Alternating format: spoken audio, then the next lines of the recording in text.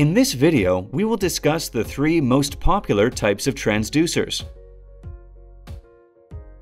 The active elements of a curved array or convex array transducer are arranged in a curved line.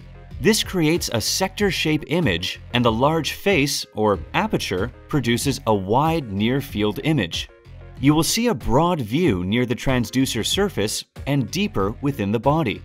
This makes curved array transducers popular for scanning the abdomen or fetus where a large field of view is important. A phased array's transducer elements are arranged in a row and the face, or aperture, is fairly small. The elements are steered electronically to produce a pie-shaped image. The near-field image quality is typically not as good as convex array because there are fewer elements. The smaller footprint is able to access smaller imaging windows, such as cardiac images between ribs. The active elements in a linear array are arranged in a straight line and typically not steered. This results in evenly spaced beams and the best resolution. Higher frequencies are usually used in linear transducers, which works well for vascular and superficial soft tissue studies.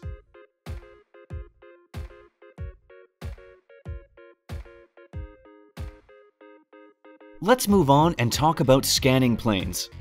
Before we discuss the four scanning planes, let's go over transducer orientation. Most transducers have a small bump, mark, or indicator at one end of the transducer.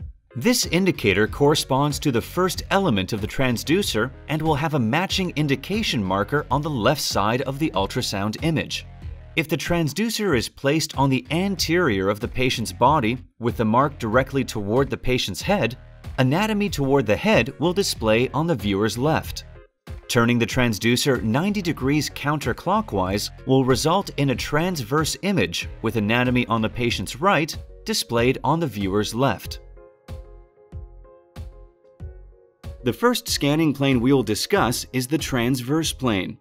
The transverse scanning plane runs parallel to the ground, separating superior from inferior, or the patient's head from the patient's feet.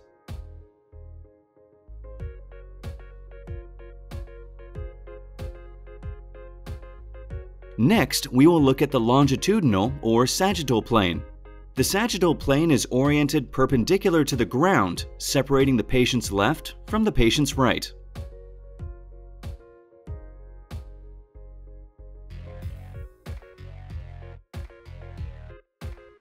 The next plane we will look at is the coronal plane. The coronal plane separates the patient's anterior and posterior, or the front from the back. The last plane we will discuss is the oblique plane. The oblique plane is oriented neither parallel to nor at right angles from the other planes. This is used to image structures that are positioned at angles inconsistent with the other planes.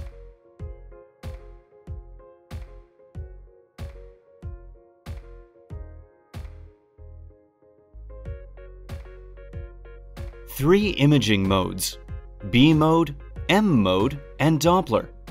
B mode, or brightness mode, is the most commonly used mode in ultrasound. B mode provides real-time structural information using different shades of gray in a two-dimensional image. The brightness of the displayed structure is also known as echogenicity. Strong return signals, high amplitude, will display increased brightness or echogenicity. M mode stands for motion mode. It captures returning echoes along one line of the real-time image and displays them over a time axis. M mode is used to capture and quantify motion information such as cardiac motion or fetal heartbeat. The M mode image can be measured to quantify motion over time.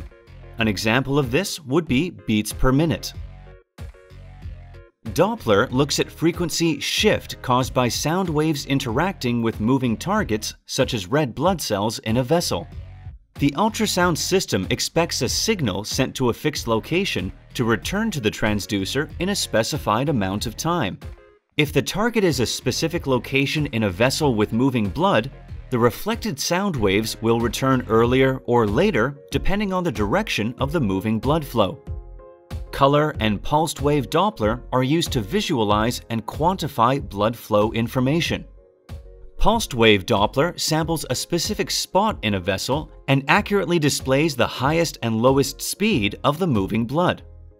Color Doppler shows the approximate speed and direction of blood flow inside the vessel.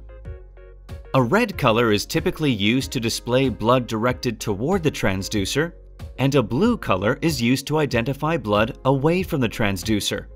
A spectrum is used to measure the velocity of blood flow. Another method used to display blood flow is power Doppler. In this case, the ultrasound system looks at the strength or amplitude of the returning signal. This method is more sensitive and useful to display slow-moving blood. Let's review transducer types and imaging modes. The most common transducer types are curved array, phased array, and linear array. Curved array produces a large field of view, including the near field and far field. Phased array offers a small face to get between the ribs. And a linear array provides high-resolution imaging and a large near-field image. Different scanning planes are used to visualize patient anatomy depending on the position and orientation of the anatomy being scanned. The scanning planes used are transverse, sagittal, coronal, and oblique. Various imaging modes were discussed. B mode, or brightness mode, is the most common ultrasound imaging mode. M mode, or motion mode, quantifies motion over time. Doppler mode is used to evaluate velocity of blood flow. Color Doppler assigns color to blood flow based on the flow direction toward or away from the transducer. Power Doppler assigns a color to blood flow based on the strength or amplitude of the returning signal. Now that you understand the basics of ultrasound, you are ready to proceed to targeted anatomy tutorials for your specialty.